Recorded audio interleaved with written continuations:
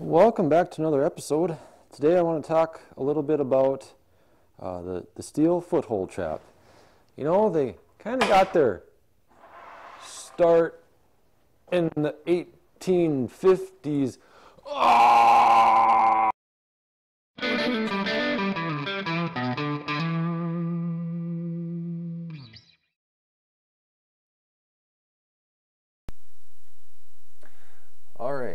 Let's get started with this timeline I made.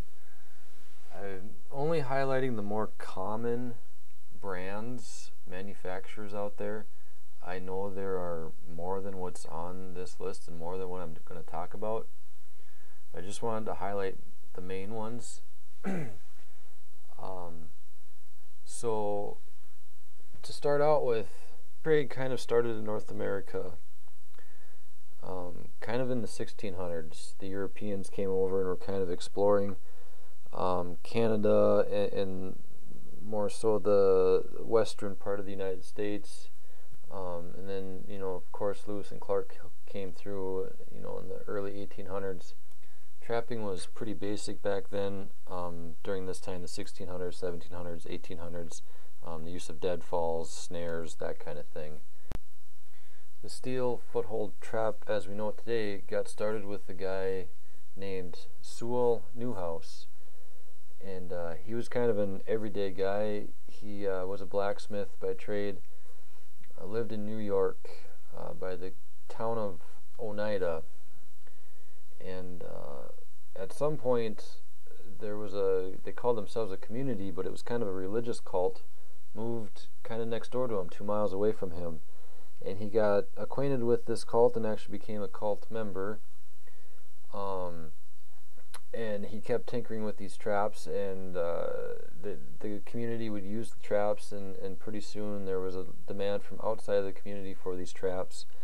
Um, so lo and behold, in the mid 1850s, uh, the community decided to produce the traps um, uh, at a full production and within you know a few years they were selling hundreds of thousands of these traps a year. Um, so that's kind of where the steel foothold trap got its start. So these traps were sold as Oneida Community Traps. Um, that was the brand name. And uh, in 1886, they came out with the Victor line. And uh, as you very well probably know, Victor is a very popular trap and uh, the Victor traps were designed and marketed to be more of an affordable trap uh, for the everyday user. And uh, you can about imagine they're essentially the only uh, trap producer in North America. The sales just skyrocketed. So that is the Oneida Victor trap. Blake and Lamb is a uh, another fairly common trap. They got their start shortly after Oneida did, 1859. Uh, Sargent and Company were in business for only a short time, got their start in 1884. This next company is not a producer of foothold traps. It got its start as a mouse trap company, the Animal Trap Company. Um, produced mostly mouse traps, but they did produce some of these choker traps. They were called the thief stop traps. And uh, they were basically a trap designed to kill the animal um, instantly by by choking them, similar to a conibear, which wasn't invented until the 1950s. So I just wanted to throw that in there. Triumph Trap Company got its start in about 1916, 1915, somewhere in there. Um, kind of a sleazy company. They started out with the name of something similar to Oneida Community Traps. It wasn't exactly that, it was something similar to resemble them. Um, and actually, I believe the creator, uh, the founder of the company, worked for the Oneida community. And they also ran into troubles with the Gibbs and Son Company. Um, they were kind of stealing some of their, um, I, I don't know exactly what it was, if it was the design or, or the name, um, but they didn't weren't in existence very long, about 15 years or maybe 15, 16, 17 years. Uh, they just ran into a lot of legal trouble. W.A. Gibbs and Son. Gibbs was a retired railroad worker. Um, he did a lot of muskrat trapping up in the marshes, up in the northeastern part of the United States. And uh, I I think the Gibbs and Son traps are just great traps. I have I have one. Um, they are heavy duty traps, and I, as far as I can tell, they were the first coil spring traps on the market.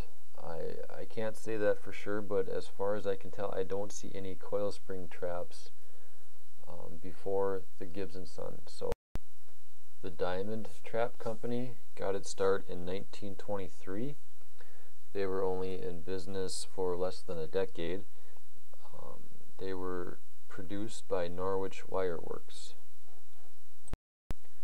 Okay, let's go back to the timeline. What I want to point out is that there was a lot of activity happening in the trap manufacturing world from say 1880 to 1920. Uh, there was 40 years there were th things were going crazy. Uh, a lot of new startups and uh, a lot of buyouts, a lot of um, sellouts. Uh, Victor Oneida Victor bought bought up some companies, most notably the Animal Trap Company. That was a large company that Victor bought out, and and I think they bought out some others as well um, such as Triumph.